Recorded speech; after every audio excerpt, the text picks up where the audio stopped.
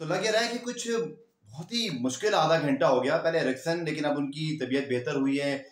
UEFA ने tweet किया but breaking news दे रहा हूँ जनाब आपको। फाफ डोप्लेसी के हवाले से कोयटा ग्लेडिएटर्स के मैनेजर आदम खान ने मीडिया को कंफर्म किया है कि फाफ डोप्लेसी को अस्पताल मुंतकिल किया गया, जो इसकी ज़्यादा डिटेल तो उन्होंने नहीं बताई बट लग ऐसे रहा है कि जैसे आपको पता है कंकशन ऑब्वियसली बॉल लगने से होता है बट यहाँ जिस तरह उनको घुटना लगा है आई थिंक नसीब शाह थे फास्ट बॉलर अगर आप देखें हसनैन थे। लेकिन अगर आप देखें तो वो जो स्ट्राइक हुआ है घुटने का, उनके सर से, वो ठीक ठाक जोरदार था और उसके बाद ही look visibly shock and then obviously थोड़ा सा डिजीनेस भी लगी उनके अंदर।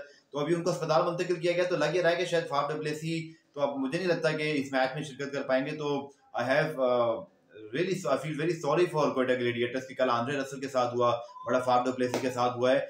I hope he doing okay I think match again मैं रेक्सम वाली बात करूँगा मैच पॉइंट ये सब पीछे रह जाता है, सेहत और खिलाड़ी की ज़िंदगी और उसकी सेहत की खबर आना बहुत ज़रूरी है। I hope he is doing okay जैसी वो अपडेट आती है share you as well thank you